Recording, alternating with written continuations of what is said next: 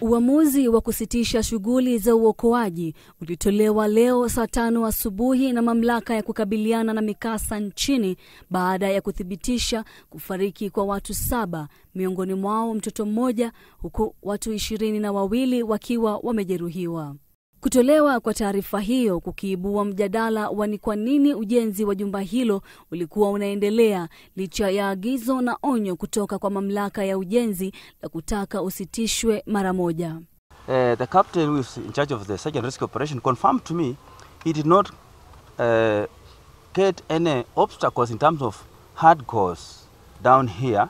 Kwa sasa inaarifiwa mmiliki wa jumba hilo hajulikani aliko, huku maafisa wa polisi wakiendeleza uchunguzi kuhusiana na chimbuko la mkasa huo. Unajua, watu kama hawa sasa, anaweka simu off, anakimbia, anajificha, lakini tumekubaliana na county commissioner tutamfuata.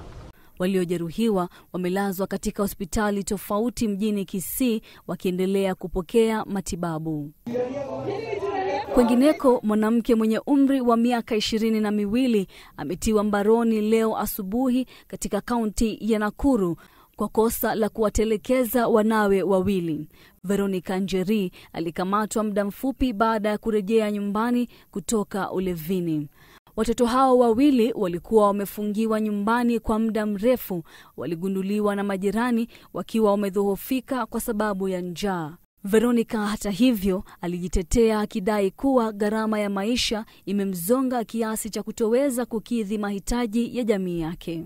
Wababa hao wangeenda family planning kuliko sasa mama anateseka na watoto.